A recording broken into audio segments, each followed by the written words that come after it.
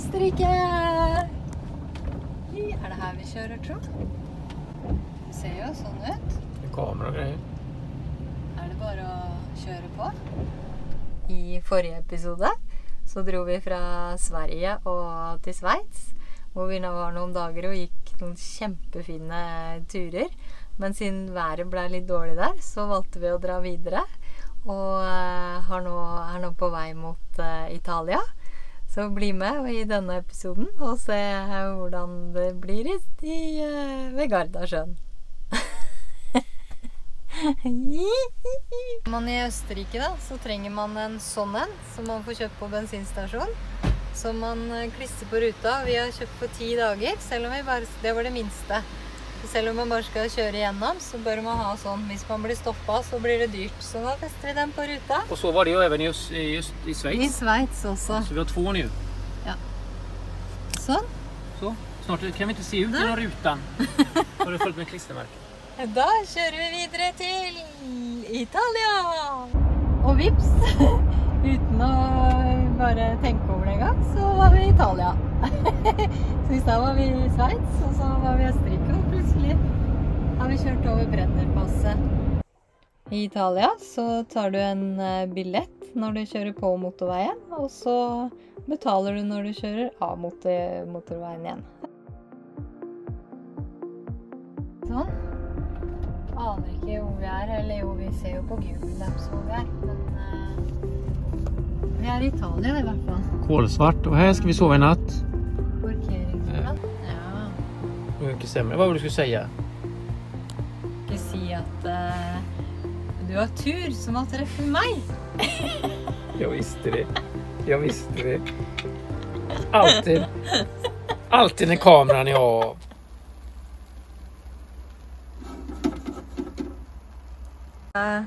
Kokken i huset. som er så flink til å lage mat. Så det blir godt. Nam. Her også blir det omelett i dag til frokost. Før vi kjører eh, Hvis ikke vi forandrer planen underveis, så blir det at vi kjører mot Gardasjøen. Der er det varmere. så, så er det sånn kult. Slott oppi der. Veldig kult. Der kjører vi videre.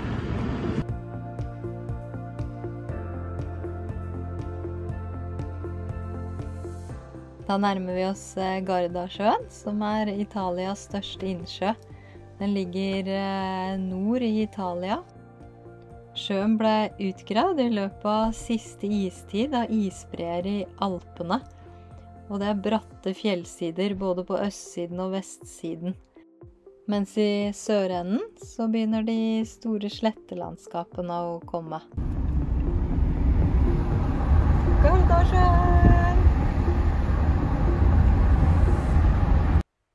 Da har vi funnet en eh, campingplass som ligger helt nede ved Gardasjøen. Så da skal vi sjekke ut denne.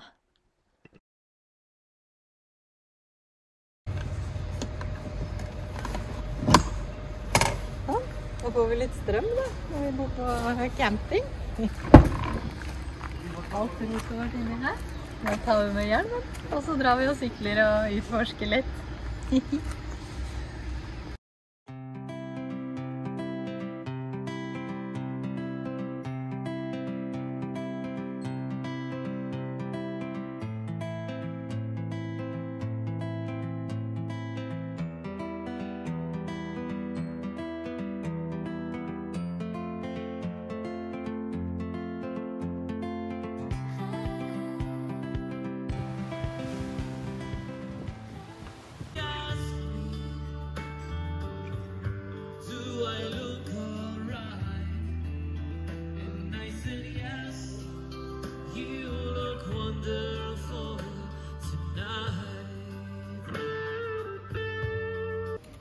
Da sykler vi tilbake igjen til eh, campingplassen for å få oss en eh, god natts søvn.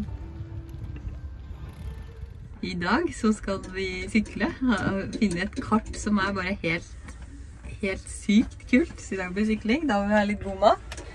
Så da blir det frukt på havregrøten. Og så, før det, så blir det litt eh, omelett. Skikkelig frokost før vi skal ut og sykle. Og så i dag er vi våkna opp til utsikten her. Det er en campingplass i, ved Gardasjøen. Kjempekoselig sted. Så nå er vi litt eh, på campingplass innimellom. Ikke alltid så lett å finne fri camping. Se det kartet her, og det er jo helt sykt. Nå skal vi ut og sykle rundt eh, Gardasjø-området. Jeg tror jeg tenker at vi skal ta den sykkelturen der. En fin eh, start. Og så Den starter vel her, da. Og så går den oppover sånn, og opp til vannet her, og så noe rundt. Eller om vi tar her, og så rundt her og ned. Vi, vi får se. Det er jo helt enormt med sykkelruter. Alle de her. Og når man snur kartet Det er jo så stort. Så er det masse flere ruter her også. Det er så kult. Her er det mye morsomt å gjøre. Så det er jo en liten lekeplass. Det er helt klart. Da går turen opp til Lago di Ledro gjennom eh, fantastisk eh, natur og små landsbyer. Veien opp til den eh, vakre innsjøen går stort sett på grusvei og asfalt og er 15 km lang. Og vi sykler seks, er rett i overkant av 600 høydemeter.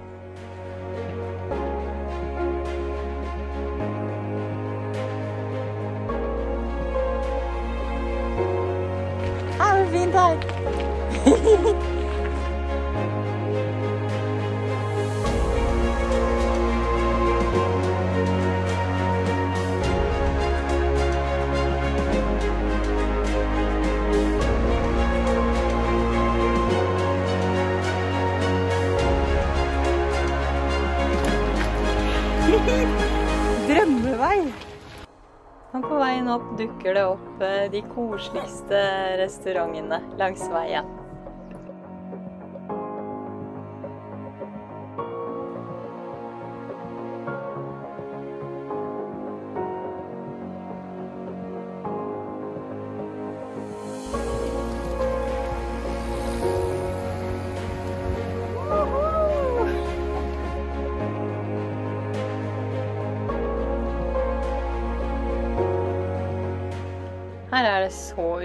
Utrolig fint.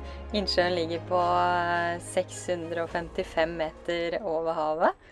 Og eh, Lago di Letro er kjent for å være en av de reneste innsjøene i Trentino-regionen. Det kan bli opptil 24 grader om sommeren her. Og nå blir det en liten eh, is, og så skal vi bare sitte og nyte utsikten litt.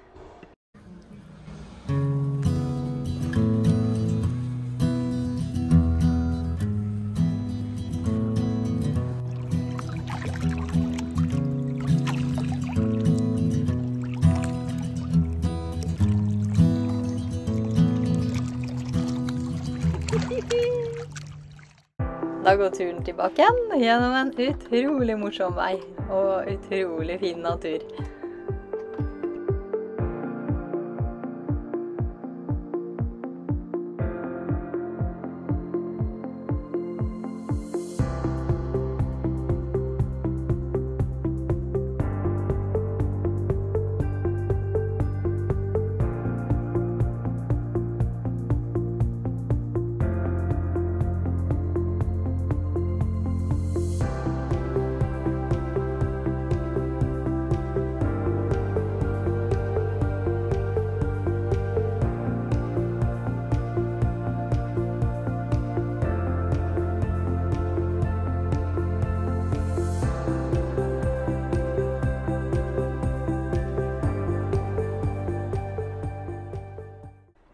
tilbake til Riva. Så da er det bare å finne seg et sted å spise.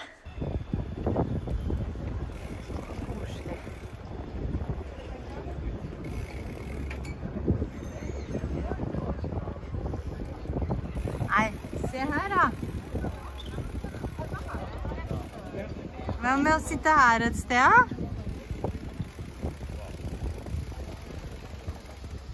Her. Sandnesnø på det koselige stedet her. Og så har vi bestilt litt eh, pizza. Og Anette har kjøpt seg en stor øl. Nei. Jeg barn. kjøpt eh, litt eh, vann. Krille persille har kjøpt litt øl. Etter en sykkeltur så må man ha litt is og litt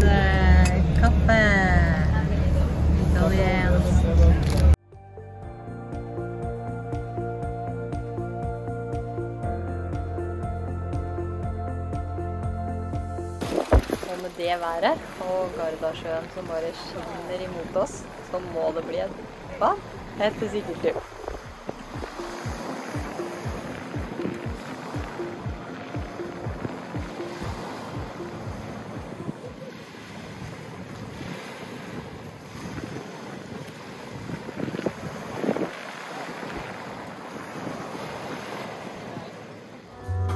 Atmosfæren på hele denne plassen her er jo bare utrolig koselig. Både dag og kveld.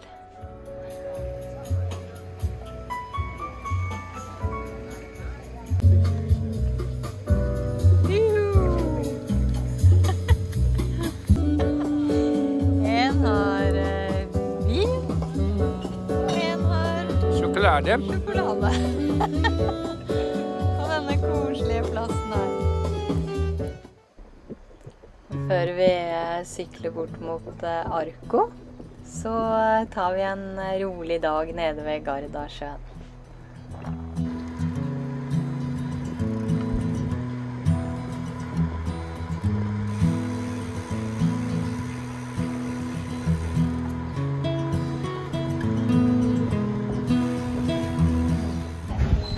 På vei mot Arko så må vi stoppe innom Bike Farm.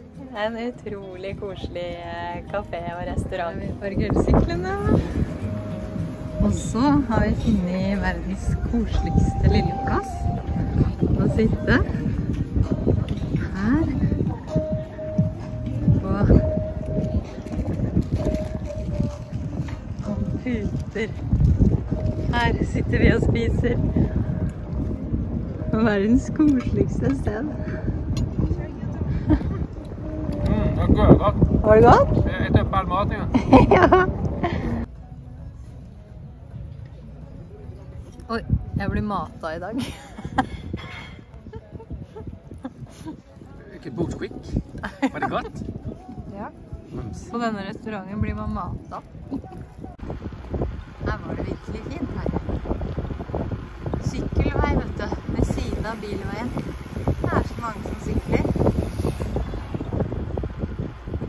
Det er så kult ved siden av vinranken og masse druer og Nå skal vi inn til sentrum til en eh, klatrebutikk.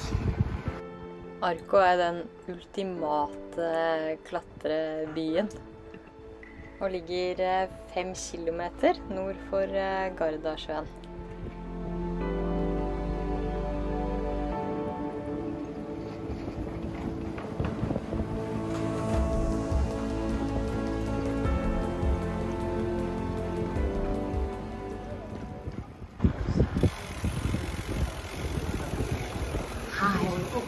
Kolla oh, Åh nei, jeg jag kliar hele kroppen. Jag deg i endetarmen. Nå skal vi her. Oi. Å, se her, da.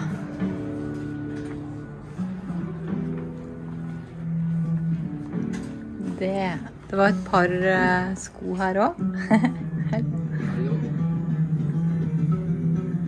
Her var det mye.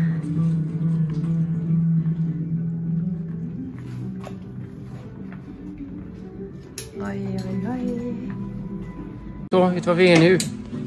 Det Vad er Anette Racerfarts favorittbutikk? godtebutikk. Gottebutik. Ved å gå ut av butikken igjen. Nå ser vi hvor langt vi kommer. Bortover gata her. Bare noen meter bortafor. Den ene klatrebutikken med masse kult. Så er det bare å parkere sykla igjen. For her var det En Ja, det syns jeg ikke godt. Men her var det faktisk en Maltene-klipp-butikk. Med like mye kult som i den forrige butikken. Her var det ikke lett å være er er van-lifer Nei. og, og Minimalist? Og vips, så måtte du sette fra sykkelen igjen. For der var det enda en butikk. Og de har låst. Og så låste vi sykkelen igjen. Én meter utenfor den andre. Bare inn her, så er det stopp. Så nå er alle butikkene stengt. Men liker du klatring eller annen eh, sport, så er det bare butikk butikk på dette kule stedet her. Middagen i dag. Det blir en masse god salat og eh, pasta med spinat og greier. Det er så godt, og du har vært så flink som det er til å lage i beste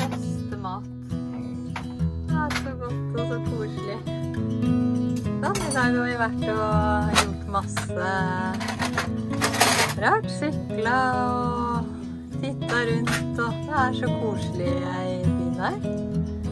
Og så avslutte dagen med dette, da. Nam. Oi. Her er det koselig. Jeg tror jeg har skikkelig koselig camping, og så er det liksom alle her. Er liksom nesten stille for, lenge før vi legger oss, for alle driver jo med noen sportsgreier her. Sykler eller sånn vannsport. Så det er liksom bare sånne folk som driver med det samme som oss. Og det er så koselig. Og så de her, kolla bergen her. Så der oppe har vi vært. Ja. Eh, der Og dit skal vi nå. Oppi der og klatre. Där klätt. Munn full av nøtter. Der. Dem. Sånn. Så har vi pakka klart til uh, klatring. Så skal vi opp i fjellet Ja. Der et sted.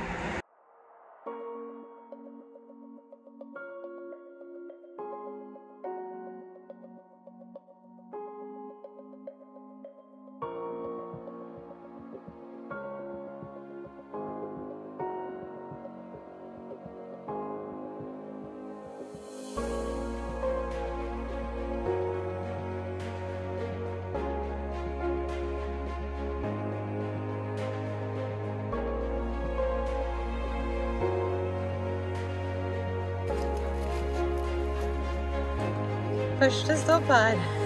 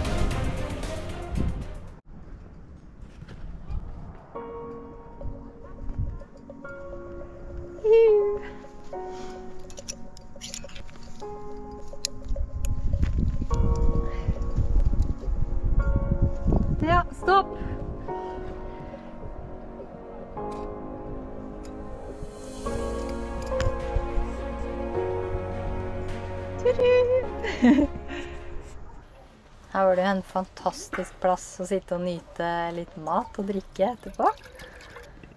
Og med jetboilen så er det jo så utrolig lettvint å lage mat eh, utendørs.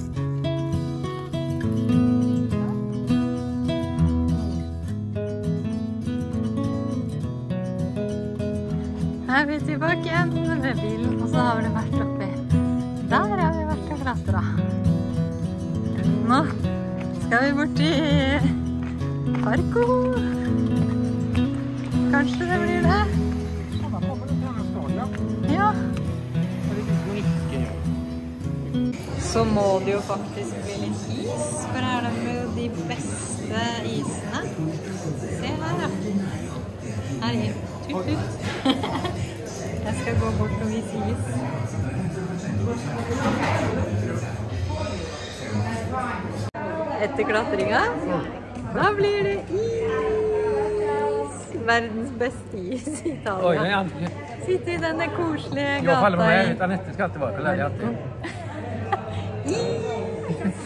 Nam! Och du en ny trøye? Ja, Den. Visa mamma och barnen vad du har kjøpt.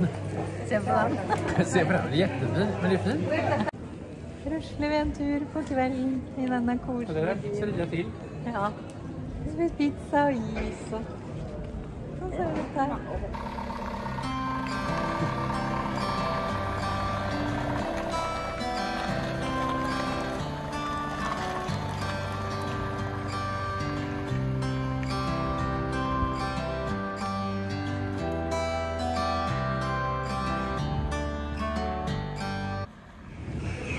Og nå står vi her på togstasjonen på Gardermoen. en liten tur hjemom. Og toget går derfra. Eh, oh, vi vill till Garda igjen.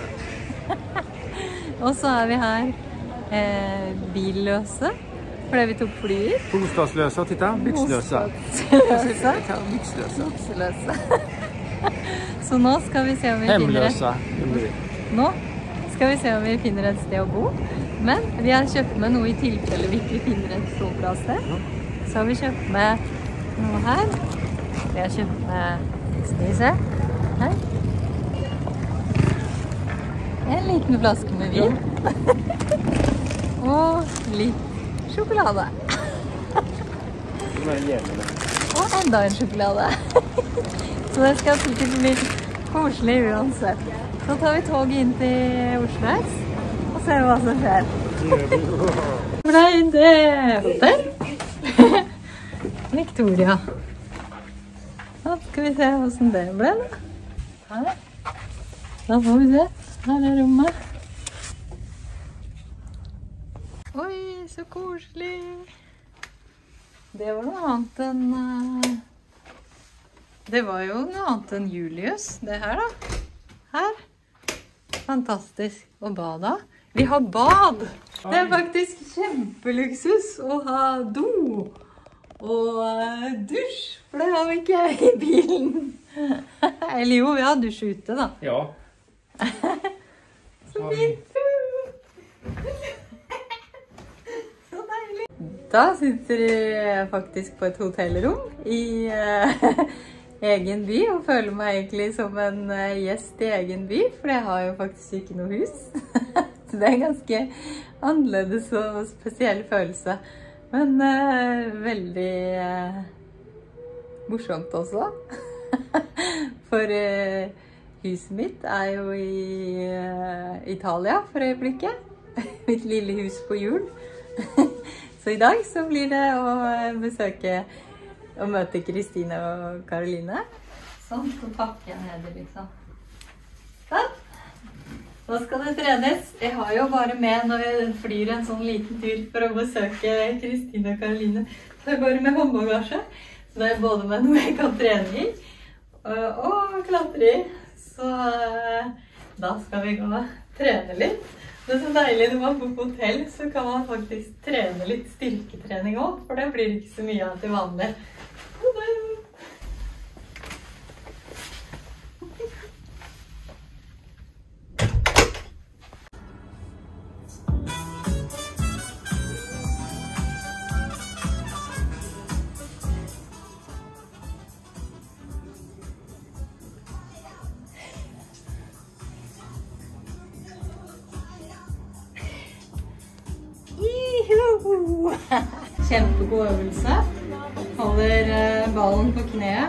Motsatt eh, hånd. Presser kneet mot og hånda mot. Og strekker ut korsryggen. Presser man ned til gulvet. Etter eh, x antall bytter. Strekker ut. Presser imot.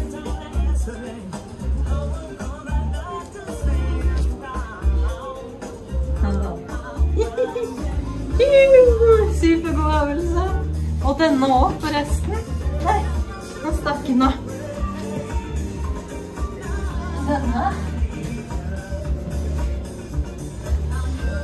God for eh, ryggen og bakside lår.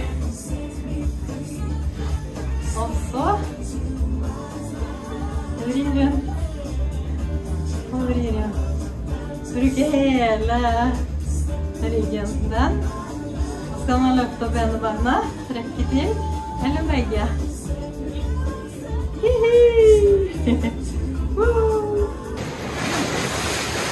Og så må det jo faktisk bli en is på Aker Brygge. Det er koselig, det.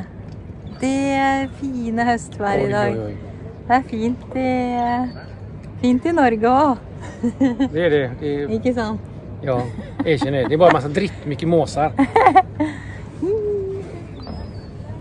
Mm. Nei, det er fint. Og så, da, hvis noen lurer på om det går an å sove på Gardermoen, eh, så er det ikke noe å anbefale. Vi går rundt og leiter og ser om det er noe benk å sove på, men det er det jo ikke. Men flyet går så tidlig i morgen. Så det er ikke vits i å være på noe hotell. Vi tenkte kanskje vi fant et sted inni der. Der, kanskje. Det er sånne hanker imellom. Ja, hvis, har vissa bänkar Det går jo vissa? Da fant vi en plass å sove. Er du fornøyd med soveplassen? Nei. Så har, vi, så har vi ikke i Sverige, Esmin. Her er senga til Grille. Krille. Grille. Og rett bortafor er min. Der Jeg så sove. Og faktisk så er vi nærmere en eh, do enn det vi pleier å være. Ja. For doen er inn der. Litt luksus er det. Han skal pysjen på? Og tannbørsten er i munnen. Ut och springer til varv.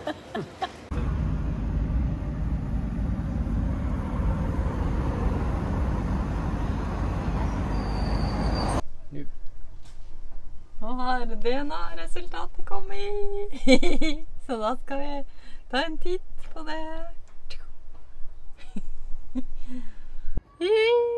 Da trykker vi.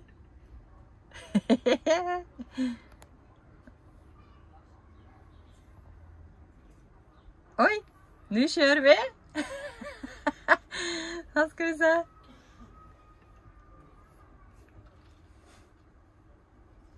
Og hvordan det gikk, får du se i eh, neste episode. Håper du eh, blir med videre. Og eh, abonner gjerne, det hadde jeg satt veldig pris på. Ha det!